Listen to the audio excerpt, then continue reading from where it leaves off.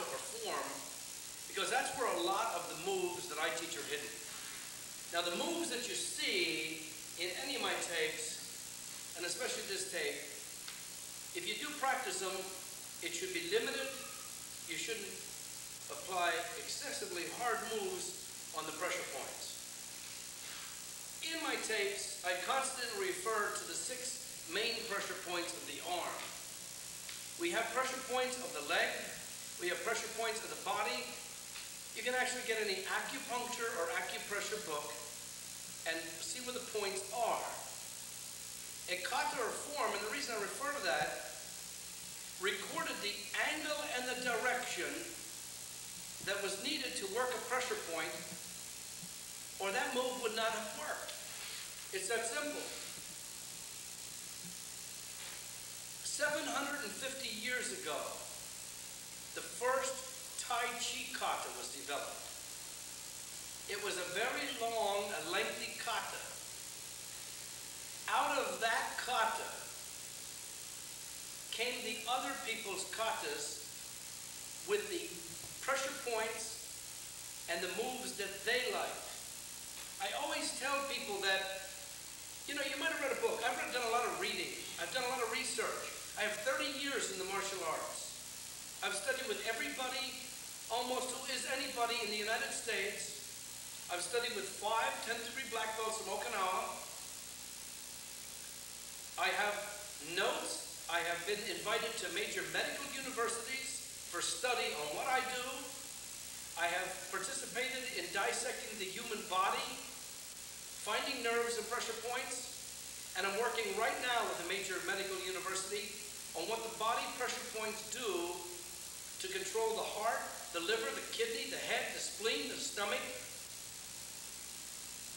But the 750 years ago, the original kata of Tai Chi recorded all the angle and direction needed for every one of the 500 to 700 pressure points. You might have read in books that there was a man who only knew one kata and yet he could kill people. He was the deadliest man that walked in Okinawa. I read that. I always thought, well, how if he knew one kata? Or if it took 10 years to master a kata? Why did they need 10 years to master a kata? And in this country, every two months they want you to learn another kata. What's more important? If I teach you another kata, or I take, I walk into seminars. I do seminars and lecture all over the United States. And I do a seminar and I say, how many katas do you know? And a black will say 20. If I teach you one more, you know 21, will you be any more deadly? No, he says. How about if I take one of those and teach you how to apply the self-defense? That every time you do that kata, you are working a self-defense pattern that's going to work on your opponent and every time you do it, it will tell you the angle and the direction that you need to get on the pressure points of the body. These masters that had their moves hidden could do one kata and injure somebody with the moves. They knew one kata and they knew 20 or 30 ways to kill somebody with the kata. Now when I talk about kata, I have talked to jiu-jitsu people who do not do kata. I've talked and taught Hapkido people I show them pressure points. They don't have to do kata. If you don't want to do kata, don't do kata. I'll show you the pressure point, the angle, and the direction. I'm going to show you moves today in a kata. You can break it down on your own. You can be self-defense. You do not need the kata.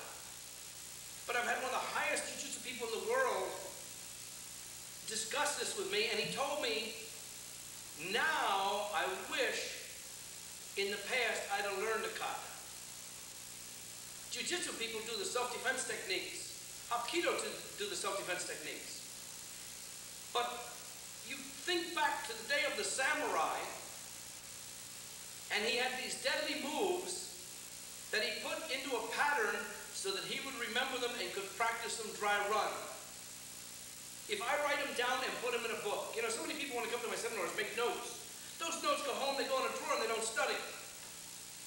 If they practice the kata, they would actually be practicing the move, the angle and the direction, and the stance that's needed to use their weight to their betterment and their opponent's weight against it. Stance is most important because if you're not standing properly, everybody in the world uses a front stance. And weight and weight distribution is most important because if you're not in a front stance properly, your leg can be broken. Meaning your leg, not your opponent's. When you have an opponent, and you can try this at home, because I want you to know first why we stand in a lowered stance. Everybody says lower the center of gravity, better for the balance. Bend the legs so that it meets resistance for breaking. That's true. But you're also taught, we have a line on the floor. You're also taught that if your feet are not aimed at your opponent, your leg can be broken. And the reason I tell you that, because in kata, we start some kata like this. The feet are 45 degree angles. And we have some kata that start and just do this. The feet just go from 45 to straight ahead.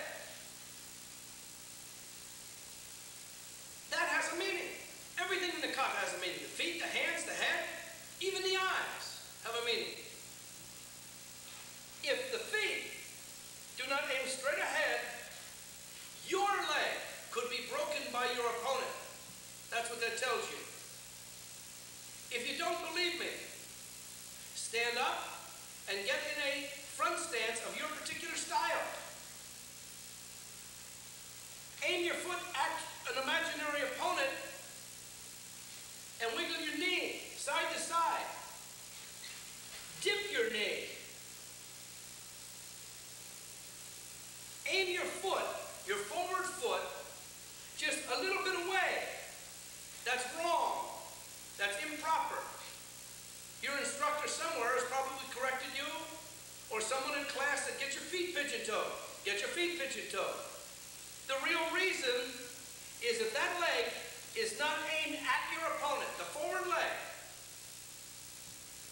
that leg can be broken because of joint alignment.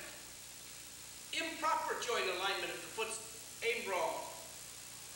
The knee joint moves like this, like my hands, moves this way. To break or do damage to someone's knee, you only have to send it a different direction, mainly to the side. If I aim my foot and you stand in a front stance and aim your foot a little bit wrong and you move your knee like this, you will feel that it is coming out or almost comes out of the socket by itself. You will feel the weakness. Aim it in and wiggle it, you will feel strength. Aim it out and try to protect your groin or inner leg area. You can't. You can't protect the groin, you can't protect the inner leg because you can't dip. Your knee will come out of place. Try it. So this move in the kata, just this, means you can block and protect. Somebody tried to kick my legs and groin out, I can just move and protect that area and be perfectly balanced. But if you're like this, you can't. You can't protect. So being more natural means that if someone tries to kick at my lower section, I can just block by doing dipping. Just dip.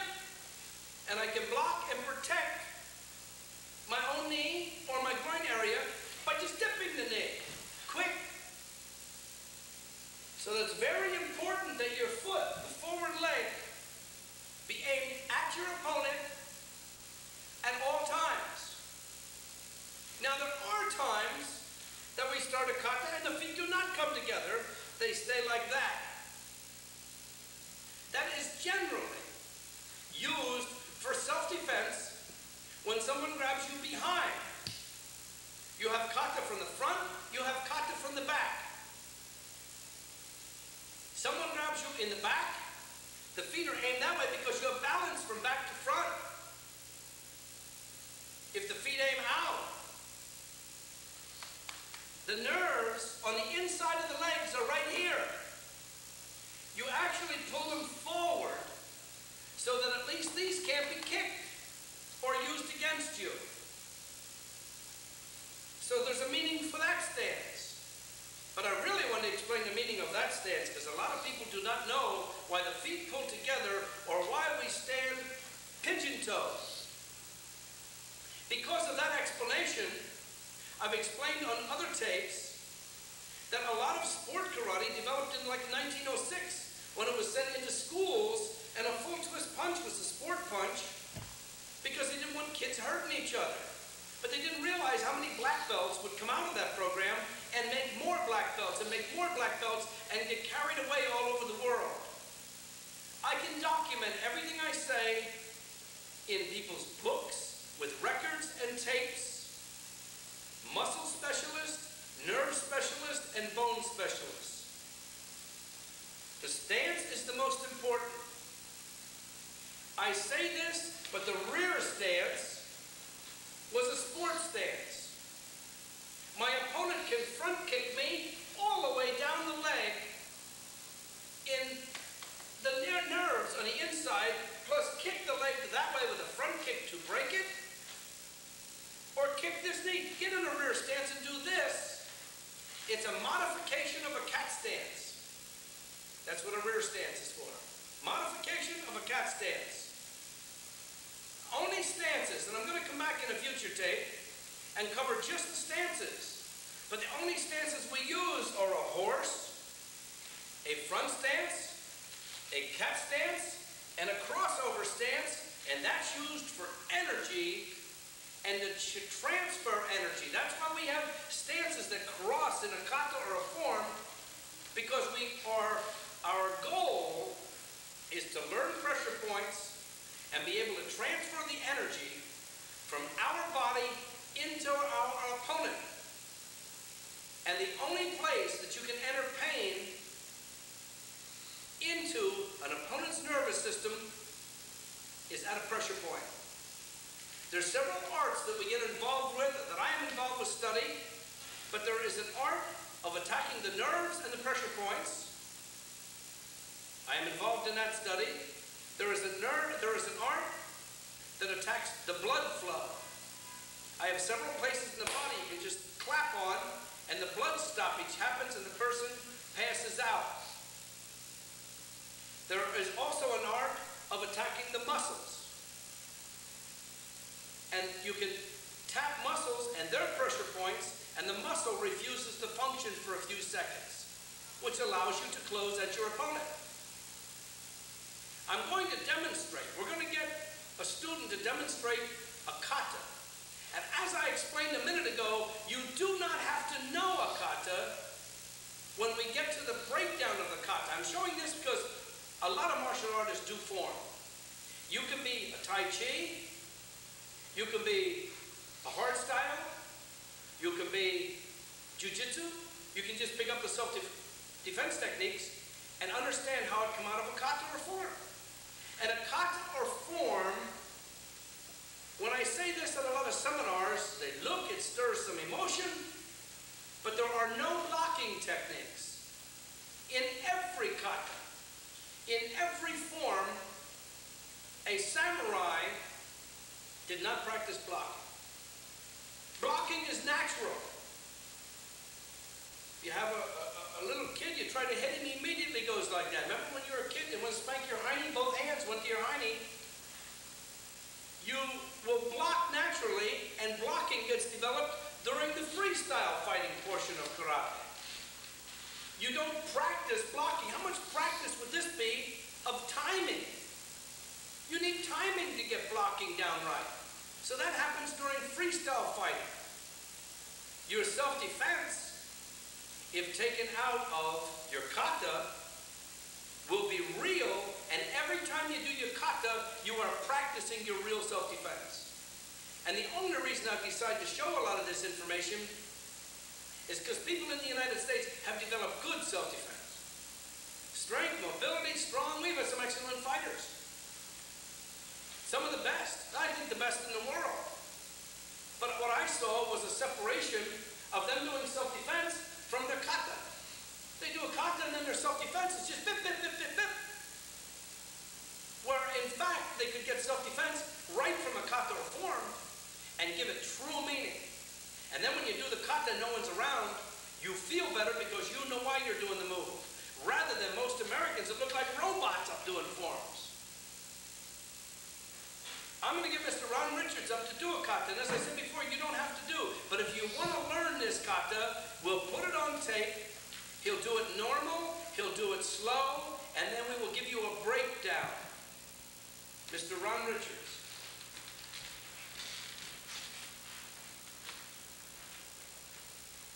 Kata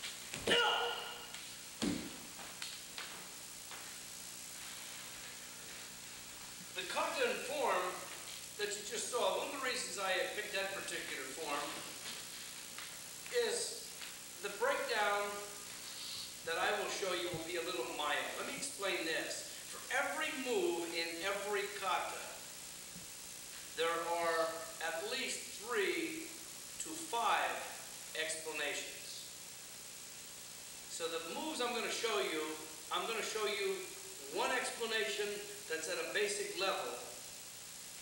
And I advise that you get to a seminar of mine or learn pressure points and learn how to apply the moves in person.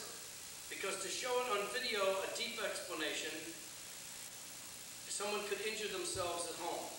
And that's why you're not to practice these moves that you see without someone's help or guidance. I picked this particular form because a lot of styles do this form.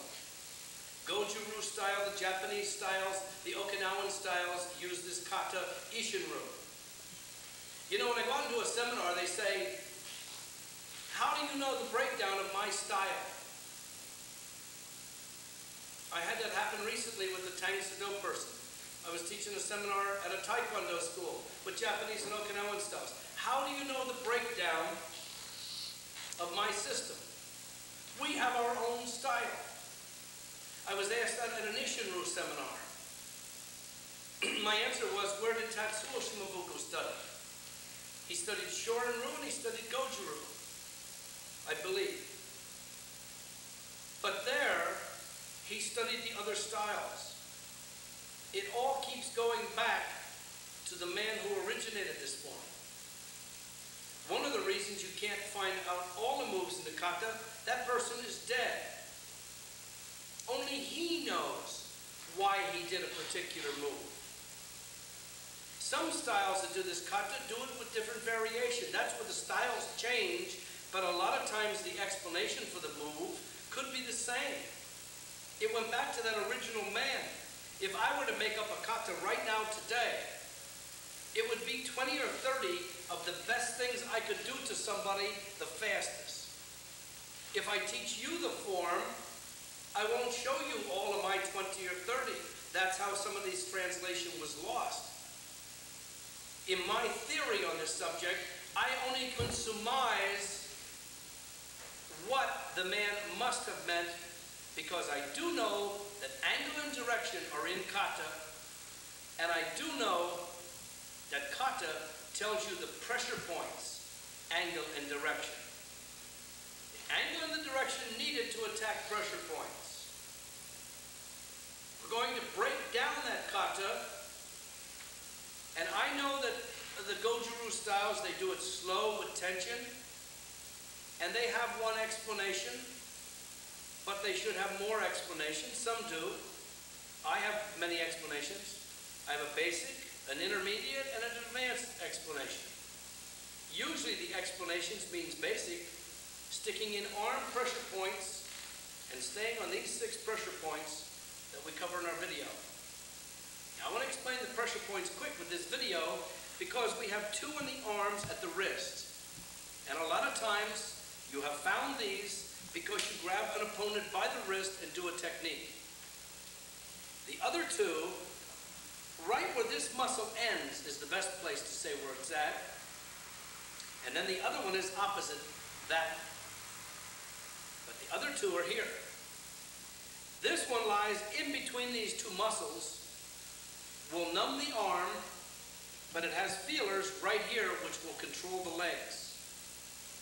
This particular pressure point will cause the bending of the elbow when struck with the proper angle and direction that would be in a kata. If you know these six pressure points, plus any others that I show you on this tape, there's a pressure point that lies on the back of the hand here. We also have a pressure point that lies in here.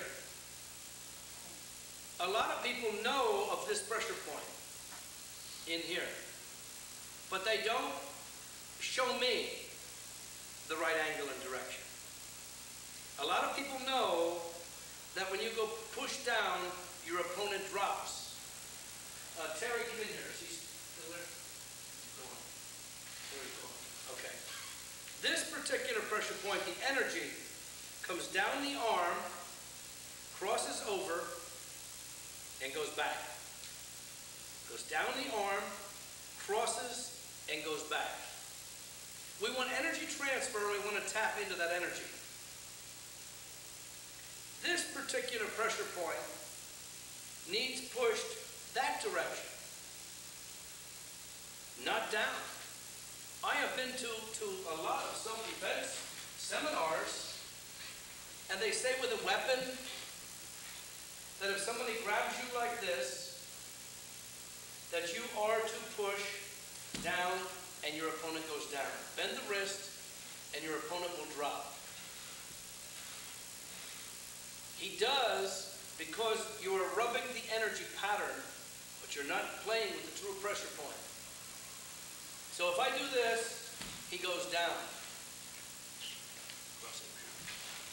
But if I change and actually cut towards that, he goes down faster and it hurts him. He gets an electrical shock and sets him up for other pressure points to be hit. So this particular pressure point lies in here, but the angle and direction must be that way towards one's energy. Energy's flowing like that, and you back the energy up. In my other tapes, I have showed you how to stop the energy from getting to the wrist. I've showed you how to take the energy and actually open someone's fist so they can't hit you. This particular one sends the energy back the pattern and starts to drop your opponent and make him weak, weak because the electrical charge.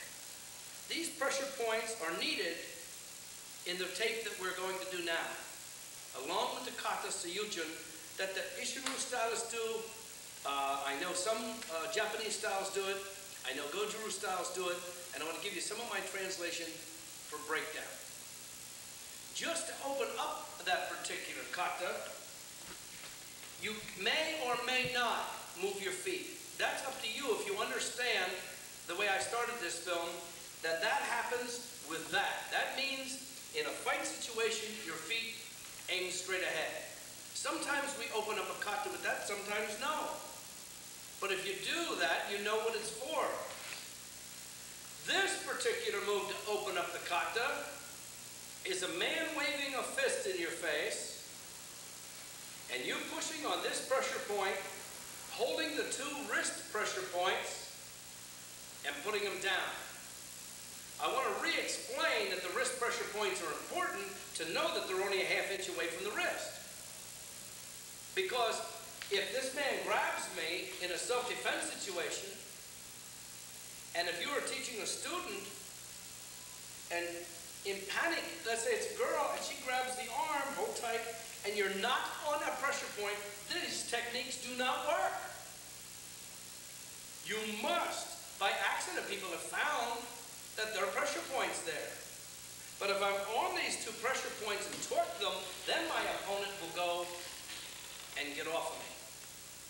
So that's why it's important to know that they're pressure points, and why they are pressure points is because you have three nerves in the arm and right here is a cross track that connects them, and here is a cross track, and here is a cross track. So a pressure point is operating with more than one nerve and operating on a juncture, feeding information into the nervous system to make the legs go, to make the wrists go. And that's what the pressure points are all about that we're going to show you now. So that move is pushing on that pressure point, holding these two pressure points to put your opponent down. Just the next move in the kata. I'm going to have him start the kata. Sandy, you can come out and assist with this.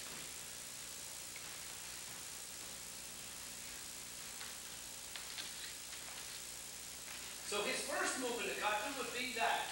That's a self-defense technique. He already has one self-defense technique to practice at home.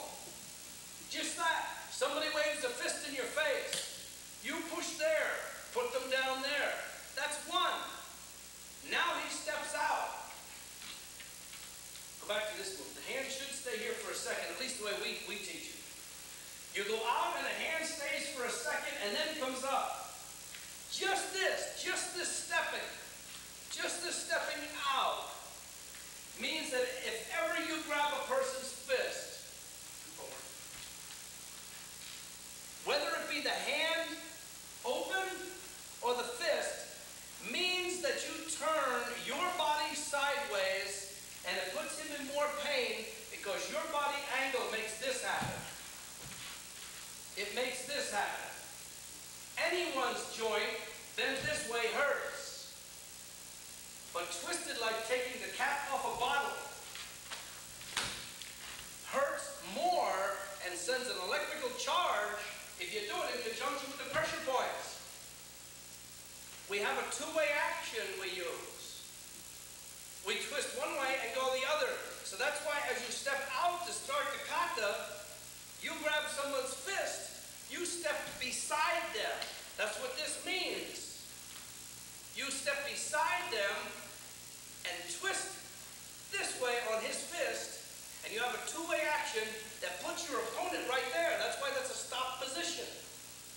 So if I had this fist, I would go totally beside that man and twist with a torque to do damage to the wrist. Same thing when he catch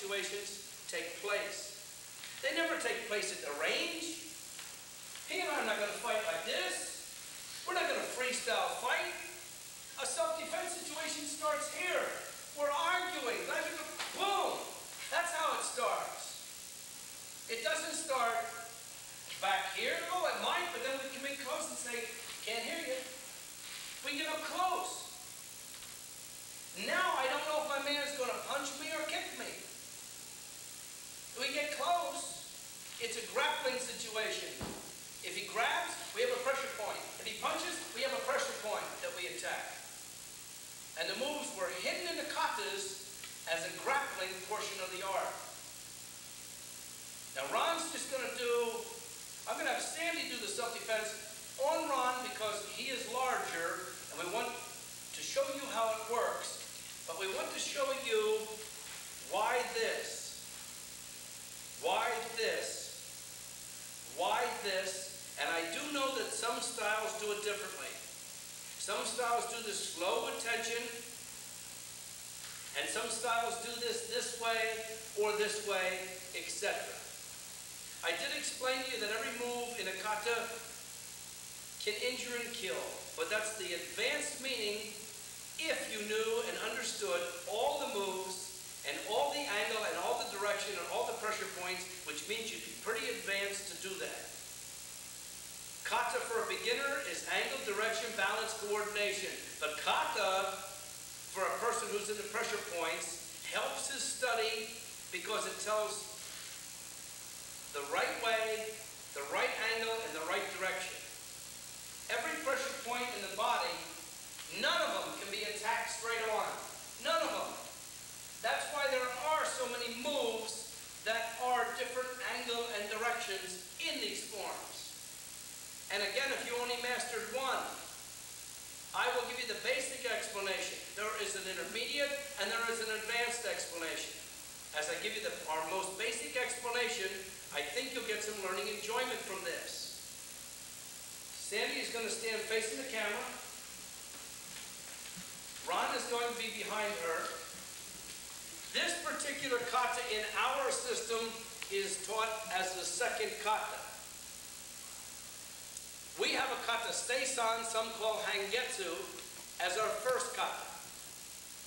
Seisan deals with a lot of self-defense from the front. One or two self-defense from the rear.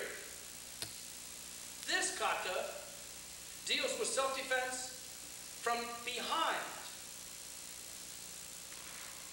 Ron is going to, she's going to show just the explanation for this move.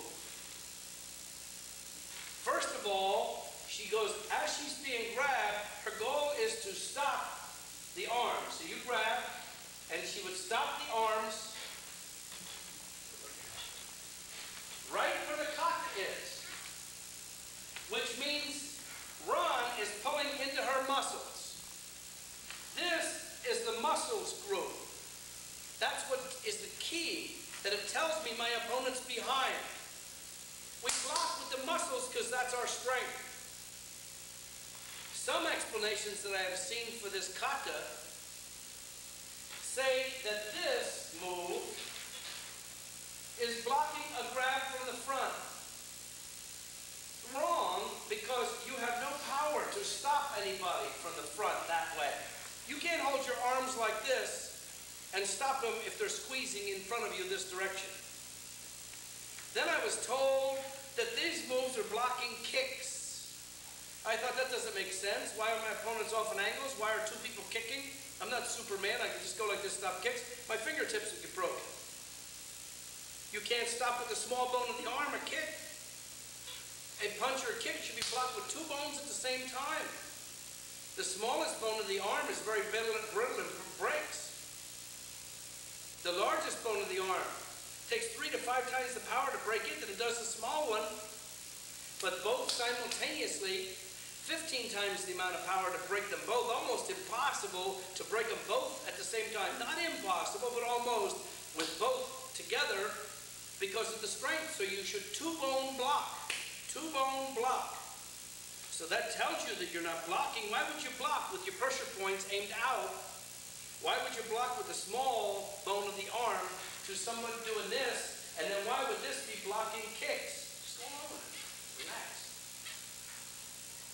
So that shows it's not from the front, but that someone's grabbing you from the rear and they're pulling into the muscle and you have a two-bone block taking place. Grab from the rear, she has a two-bone block taking place.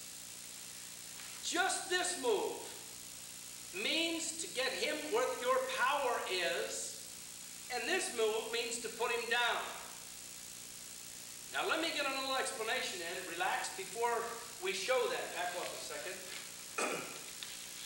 when you do that kata, you are taught to step out in a side stance.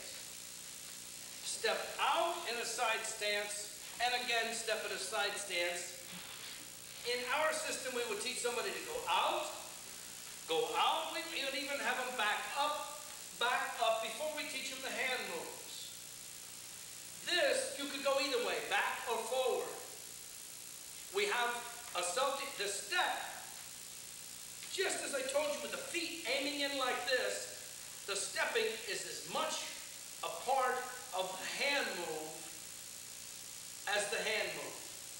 If this is proper, she has proper weight distribution and power with a two-bone block so that he can't squeeze your arms towards you.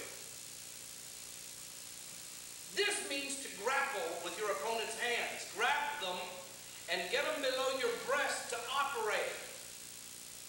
We're going to show you two self-defense techniques because even though there are three of these steps, a person grabs me from behind,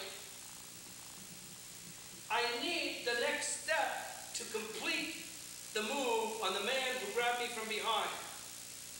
So what I am saying is one and a half of these is one self-defense technique, and now somebody grabs me from behind, and this and one and a half is the next self-defense technique. It does not have to be three self-defense techniques. The step is part of the self-defense technique. We will explain that now. Ron is going to grab her and she's going to block, which stops. She is going to grab the wrist, trying to grab at the wrist pressure points, but it's, not that important as long as she quick grabs. She is going to take her right leg and back up through the hole and put his arm in what some people call an arm bar. The tighter she stretches it and the more she pushes, the quicker she will drop her opponent. Let's see it again She grabs, slow, and you can try this move at home because it works on people. Now, this time when you do it, I'm going to correct right on film, go from here, but go right to the next Seiuchin stance rather than a Seisan. Go right from one Seiuchin as you would in the kata. We don't want to change anything the way it looks in the kata because that's what puts more pain and power on your opponent. So grab, and the right leg steps all the way over towards me. Grab his wrist. No, play behind you. Go backwards. Yeah. Bring your right leg all the way back here. Back here. And now push. Okay, let me let me explain that move. Ron, grab. I stop. I grab the wrist. My right leg goes through, but I go to the same stance I was here. I go to the stance here, and then I can push for this move where the next move would be this in the kata, which would finish my man. And I would attack pressure points. That is an explanation for just one of these. Just one of these. This is part of it.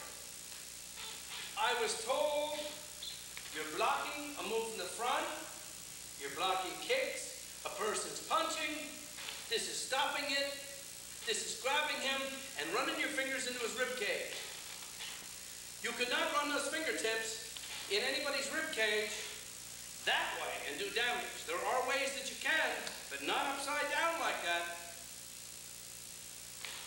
That move can be used towards the eyes or the throat in this situation. The next meaning for that move, for this and this, come over here, I'm going to do it from the three quarters so they can see. I would stop the move. This means to grapple with his hands and put him down there. But we also have these two moves to contend with. So as I stop the move, I grab the hand, I twist it as I showed you earlier, like a cap, and if I go to my hip, all the way around like this, my opponent will be there and my hands will be the way they are in the kata on the hip, and my attack would then be to the temple or the head, and this one would be for the throat. In most cases, the person would not go down all the way. If you try this mildly, he really, as he grabs me, only goes to here, and then the attack and the strike would come in for the throat in this manner that you could actually do damage to the Adam's apple area. In slow motion, so you could get that, he grabs, I stop, a grab from behind. My feet aim out in a Seiuchin stance to pull my sciatic nerve forward. Pull this. It doesn't come forward, but it comes in here at a 45, which doesn't make it impossible for him to attack, but it makes it very difficult, and that's why the feet aim out. Had he been in front of me for this move, my feet could be aimed straight ahead, because if they're not aimed straight ahead, as I explained to open this video, your knee can be broken. They aim out because my opponent is behind me. And this stops the grab. Slow motion, this grabs the wrist. This gets on the hand. And all I have to do as I turn is go to this hip for that move. So as I grab, I go to this hip, and the turn is what puts my opponent in pain. And then a chop to the head and or this technique would be to the throat. And it can be under the arm if you are advanced enough to know the nerves and the pressure points under the arm. And they would be advanced techniques. When you get up to the third move, the third one was the self-defense from behind, but you turn with this move facing front to punch an opponent. Just this move. Why do you hit the hand on the hand? Open hand, why do you do that? At least I have an explanation.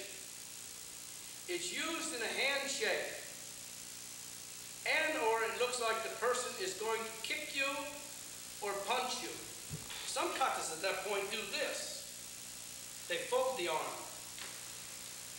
I have a, a meaning also for that. As you strike,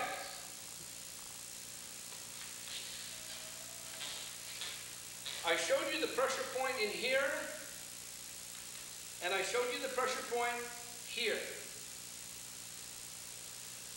These two work together because when you press in a handshake on this pressure point, it sends the energy that this pressure point will make his knees bend. You can just experiment with that, but don't hit it. You really, as in the kata, would strike it with these knuckles. That's why it's in the kata like that. If he takes from a handshake, I can put pressure here and strike on the pressure point with the knuckles. If you put the camera on that knee, I'll just tap and you'll see the knees buckle. You have to watch doing that because this bone is very brittle. My particular notes that I have on this subject says that you have to back fist that pressure point with enough pressure to break the bone. But you do not have to break the bone to drop your opponent. So that's one meaning for that move. Some that do it like this though. All I have to do is push on this pressure point by the thumb and come underneath on the wrist pressure point that you know and grab my own arm. And my opponent raises up and I can break his leg by kicking it. I wouldn't use this as my attack. I would kick the leg because if he's raised up like that, the leg can be broken. So that's just the explanation for this. Explanation for the elbow. Just the elbow technique. When you elbow in this manner, that means you are striking up because you are using the muscles. You are using the muscle portion of the arm. You do not try to hit someone or do this. That's why this is not a blocking technique. Using your small bone of the arm, you do not block with your pressure points which are aimed out. You use this portion of the arm to attack your opponent. Elbow coming up, hand coming to meet it, means there's a 50-50 application of grab a pressure point,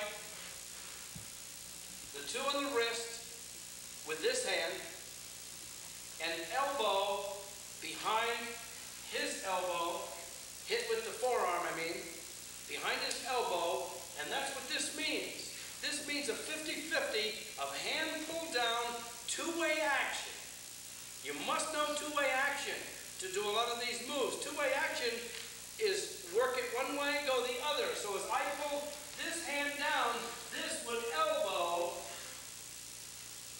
to break his elbow, and that's what that move means in that particular kata.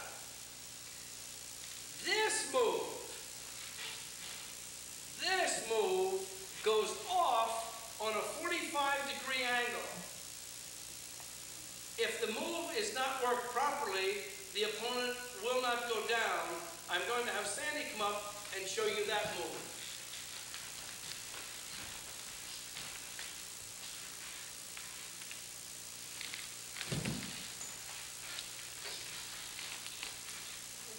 He grabs, we're going to do it slow. The pressure point is one half inch up from the wrist. She must make a fist and she must touch the fist on the pressure point. If she stands here facing her opponent, and he grabs her, and she tries to go for the pressure point, like a fist, and pushes down, he feels the pain, but it's not as severe as if she does exactly like the kata, steps to a 45 degree angle. She holds her opponent on. And now she steps 45. And now reverse it this way so you can see it in the camera. But do it here. She's facing her opponent and she must go as in the kata. 45 degrees. That is on this pressure point. Your hammer fist goes to this pressure point and presses. So this move I was told at one point was a power block. Somebody's kicking so strong and you're blocking with two hands. And a little joke where a young man said, if you need to block with two hands, you shouldn't be in that fight. You need to block one of his moves with two hands. That's the wrong fight for you. Somebody grabs you, this means you grab him. And that move is going to drop him. Now, how could a move, how could a move kill someone? Because the next move or the move before it helps that. In the advanced stages of this, I use the move just prior to that with that, or the move after it. I'm going to just show you that how it works because as she steps forward, then this move means go 45 degrees. We do it 45 if you know the kata. If you don't, you can do it as a single self-defense technique if she's doing it. And what's the next move in the kata? And strike and she can hit into the eye, the temple, the ear, while being on that pressure point. That's the next move in the kata. And I wanted to show you how easy it is to apply. Back up. In slow motion, you can practice it with your partner grab, you hold them always. Because you don't hold them, the minute they feel this pain, they'll release, they'll get away. So he grabs, I get on the pressure point, he goes down with my 45. As I step, that move would be a strike. Now in the kata, that move is there, that move is there, you step back and do just that move. I was told you're stepping back, blocking your kick. Again, it didn't seem right because it's the small bone of the arm. Why would I block with the small bone of the arm? I'd block with two bones simultaneously and the muscles screw. I step back, that arm is out, that represents an opponent grabbing that arm, and I use this to break an arm. I'm just going to show you that in slow motion so you understand that move.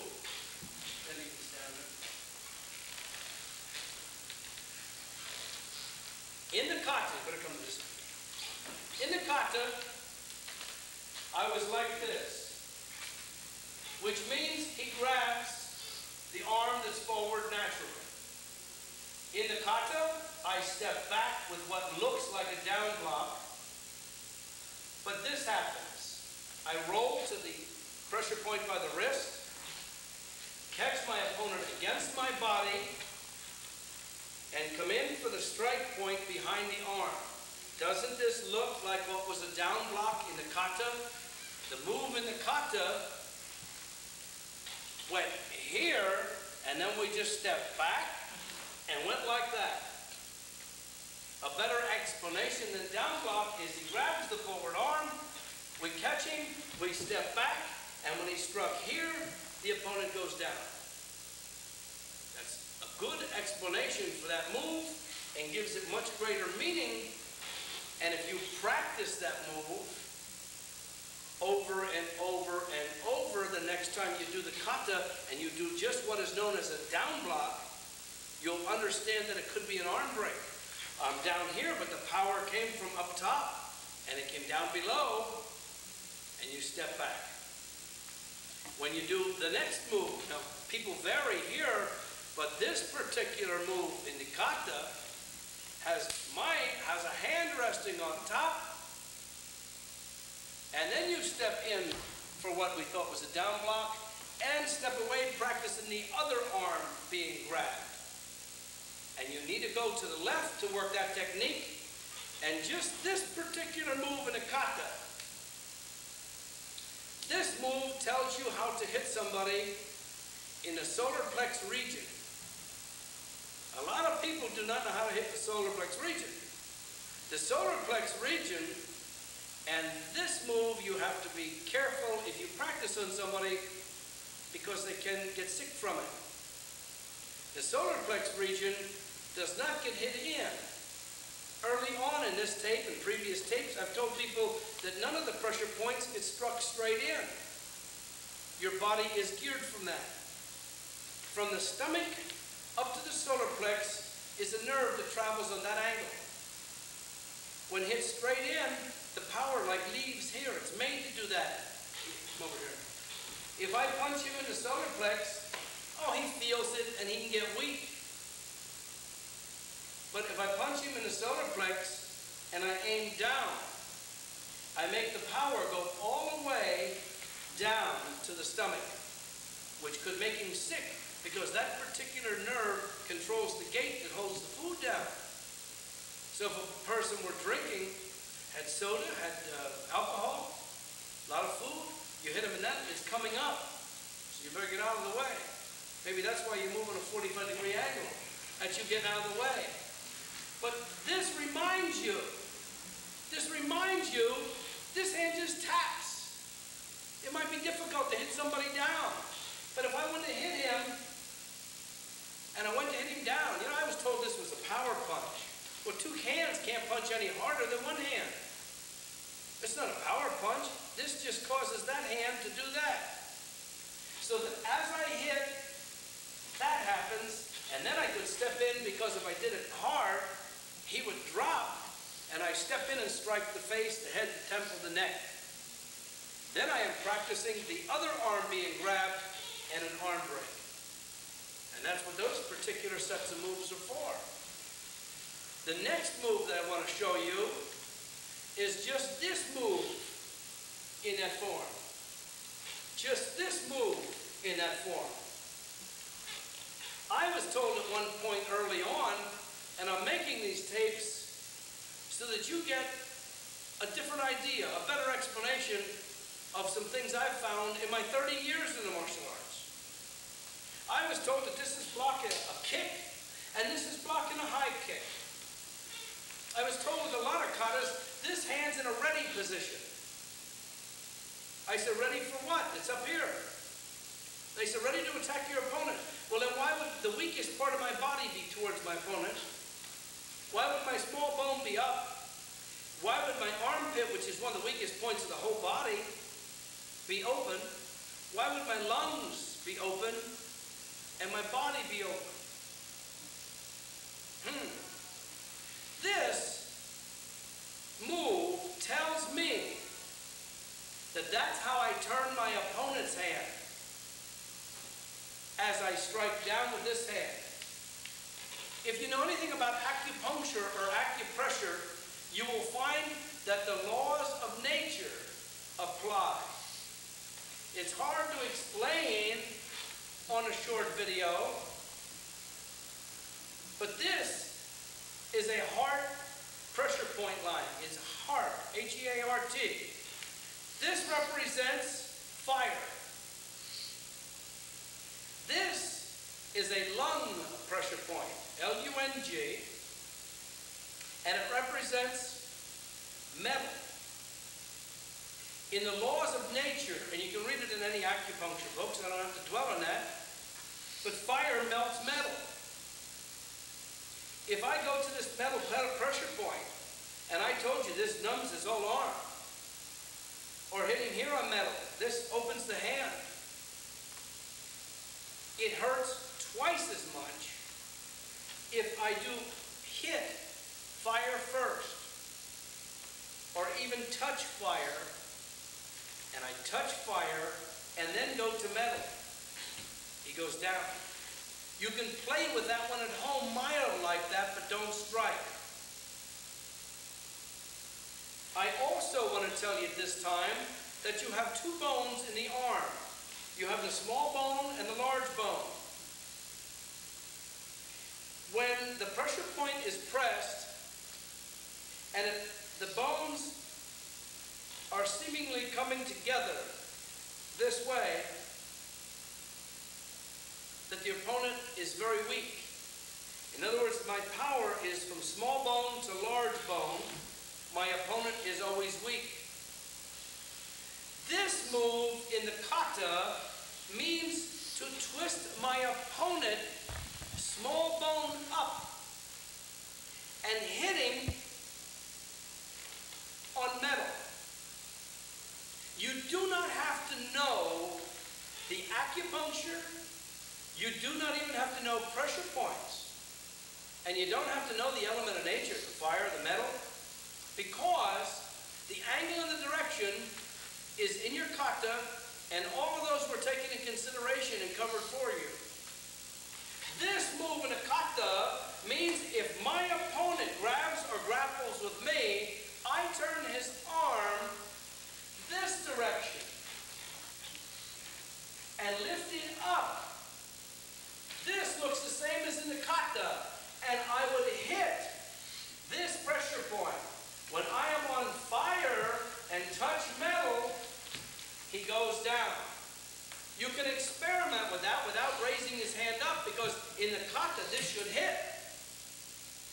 If I twist this up and strike, he'll go down very rapidly and or could even pass out from the action because I am using the nature's destruction cycle of fire, metal. And it puts the person in a lot of pain. And that's just this move in that kata. We have the next move, which says, step with this, it goes with the strike.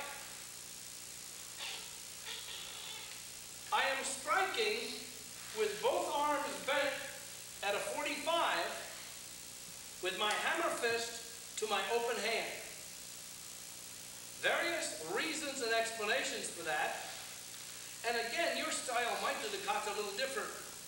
You have to adjust and or find out your moves. When I and I teach a seminar, I try to see a person do a kata and help him find the angle and the direction that his creator of that kata might have thought.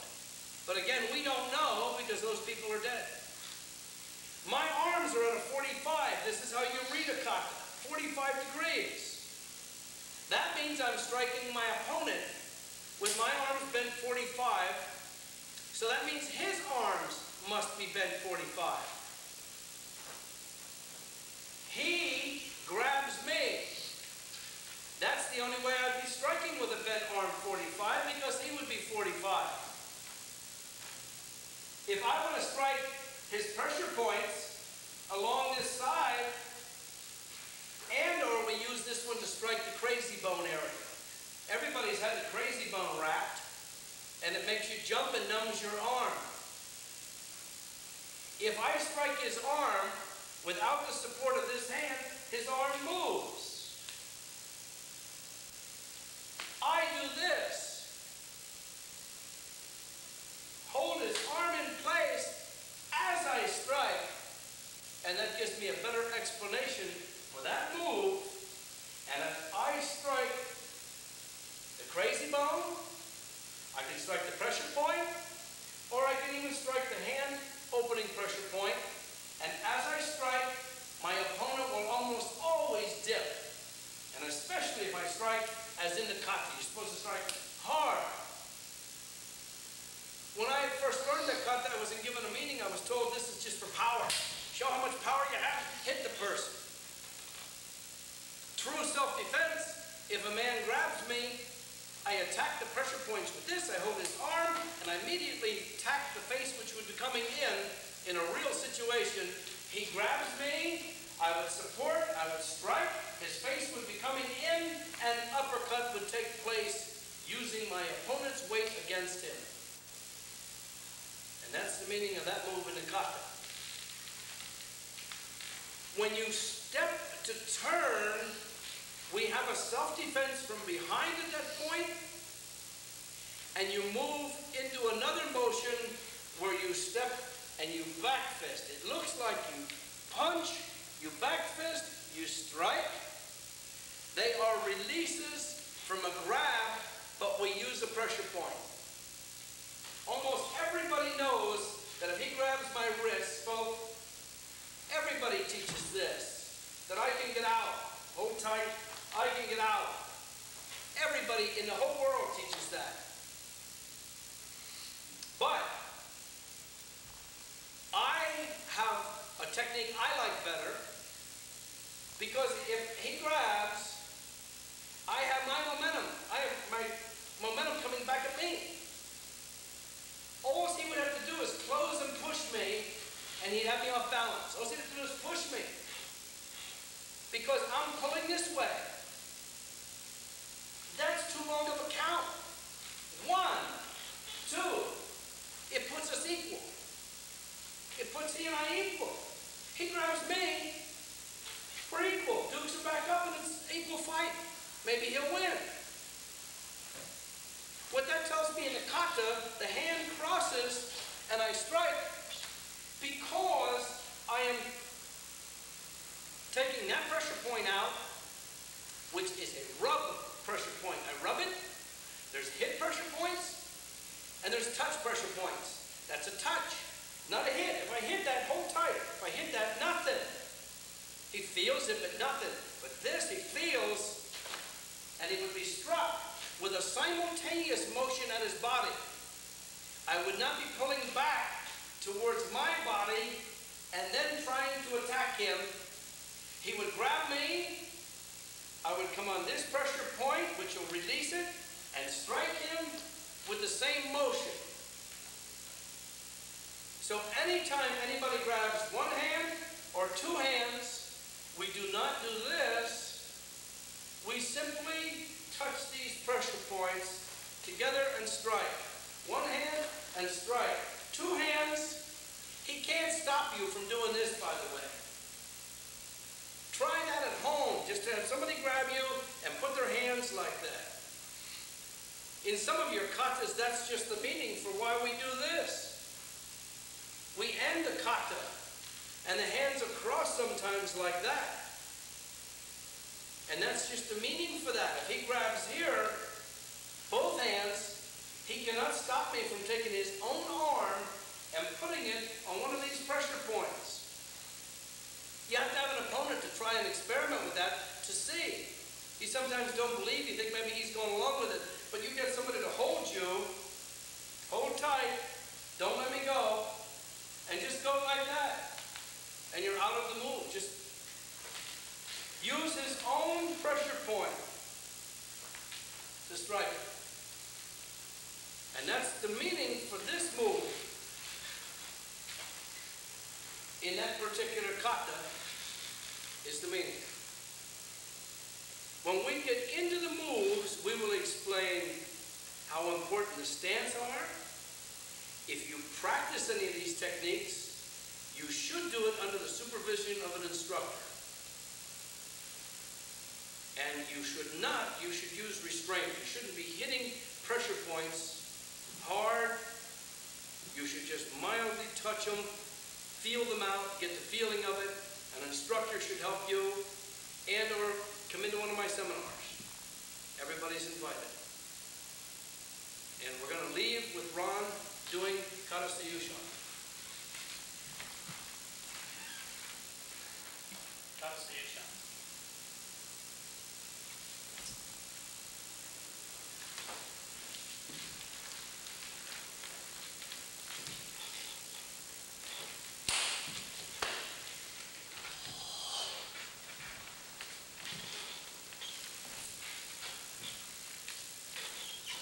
Helping me with this was, or assisting me was Ronald Richards, who's doing the kata now, and Sandra Schleswig, both members of the Dillman Karate Institute in Reading, Pennsylvania.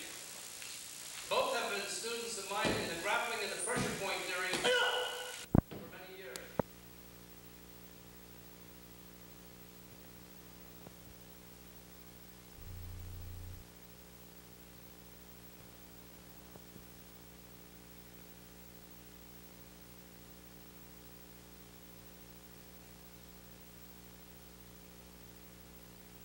The ancient art of self-discipline and self-defense. It's always fascinated me, and I guess that judging by the crowds who flock to see every new Chuck Norris movie, most people are as fascinated as I am by these talented and skilled people. Now, Reading, Pennsylvania is a long way from Hollywood, but there's a man who lives in Reading by the name of George Dillman. He is indeed a real-life Bruce Lee. To introduce you this unique man, let's go to Reading, Pennsylvania, and George Dillman.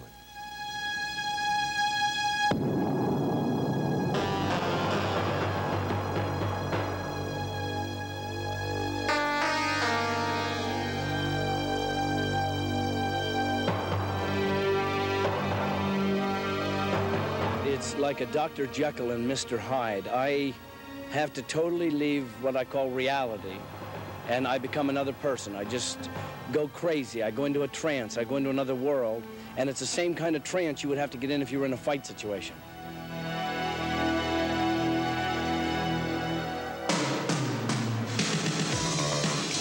The knee is used defensively to block against kicks. Someone kicks at you, we use the leg to stop it, so we counteract with a hand. George Dillman, black belt karate expert. Attention exercise shows his students that the body can break unbreakable objects. And the body can bear unbearable pain. There are 500 acupressure points in the body or, or acupuncture points that an acupuncturist can put needles. Well, when they put the needle this way, that, that might heal or soothe. But when I come in the other way, it causes damage, it causes pain. And with that, with the fingertips, I can actually knock people out. Okay. Let me at him. Let me at him. Let me at him. To be a student of George Dillman, as witness here, one must completely trust this black belt karate expert. In fact, Dillman contends that if a good boxer were to study under him, he'd be a world champion. If I were to work with Gerry Cooney, uh, he would beat Larry Holmes. If I would have worked with Thomas Hearns, he would have beat Marvelous Hagler. Uh, it's just that simple. He would have to believe me, he would have to trust me, and he would have to spend two months in a ring with me to get these points. And at that point, he could take anybody, and I could reverse boxing history. The most dramatic aspect of a Dillman demonstration comes when he prepares to slice two watermelons in half with a razor-sharp sword while blindfolded.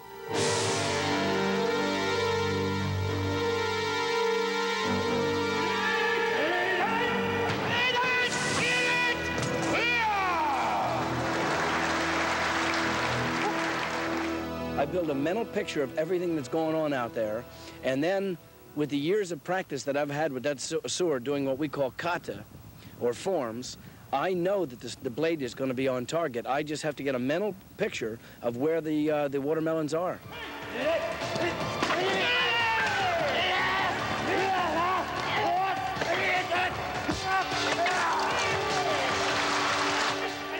And his students are world famous for their breaking skills. Dillman breaking as much as 1,200 pounds of ice with his bare elbow.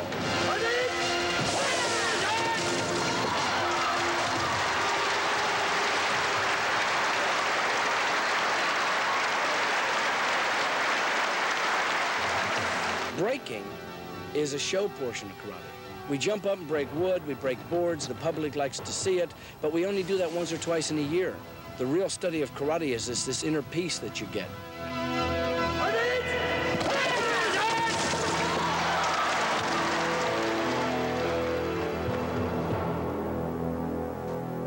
Boy, I'll bet you Tommy Hearns is glad to know now that he could have beaten Marvelous Marvin Hagler if he'd trained under George Dillman.